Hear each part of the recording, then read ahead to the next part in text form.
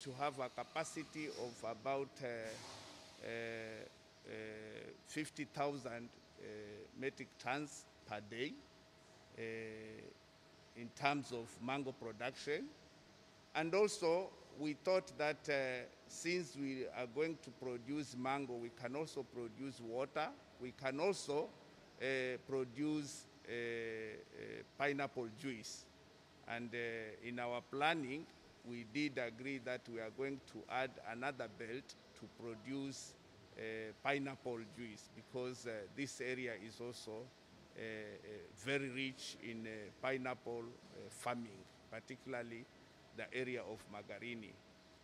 This factory alone is going to employ about uh, 100 people, and we did agree as an institution that the first call of the people to be employed are going to come from uh, this uh, district. And uh, we are happy that one, we are going to reduce the rate of unemployment.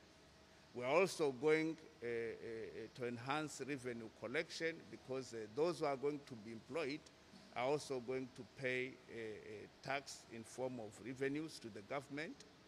And uh, also, we are going to reduce uh, uh, uh, poverty. The essence of this project basically is to reduce poverty. And uh, uh, the resources, particularly mangoes, pineapples, and water, are plenty in this area. And if you look at His Excellency President Uhuru's agenda, the four agenda, industrialization is one of them. And uh, I think we are one step closer to that.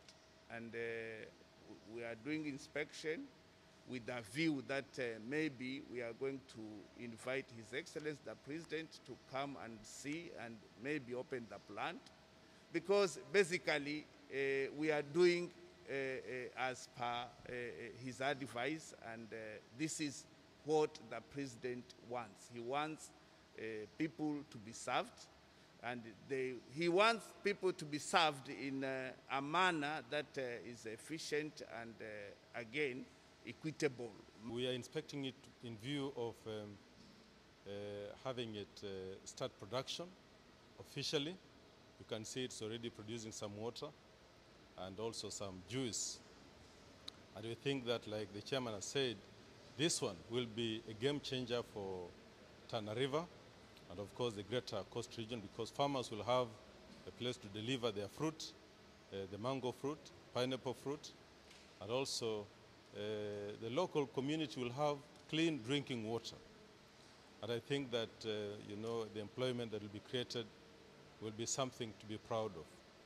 So as a, as a director of CDA, of course, representing government, and also as the chairman of the Regional Development uh, Coordination Committee, uh, I think that um, this is something we are proud of and we want to see this factory take off uh, to fulfill the president's agenda of the Big Four.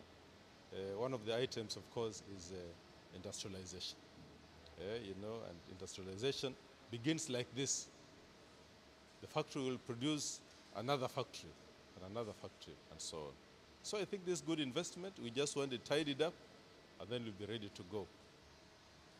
We have this factory now ready. Uh, ready in the sense that we have the mango processing line ready. We have also the additional water line ready. And uh, with these two production lines working simultaneously, definitely we are going to generate some very uh, adequate revenue for the institution. Nevertheless, we found that there is still some additional, additional, additional lines which we can incorporate as we decide to expand this factory. And we have agreed as a board in our last meeting that we have to introduce a pineapple processing line which will complement the mango processing plant. And this is going to at least allow our farmers market, instead of making the traveling or taking their produce very far, we can easily bring our produce to a nearby market, which is the factory here. We also know that this area is very arid, and the need for water, especially clean water, is so enormous. And that's why in our production line, we introduced a clean water production, which will certainly uh, confirm to the community here that we have a very clean uh, water which is produced by our factory.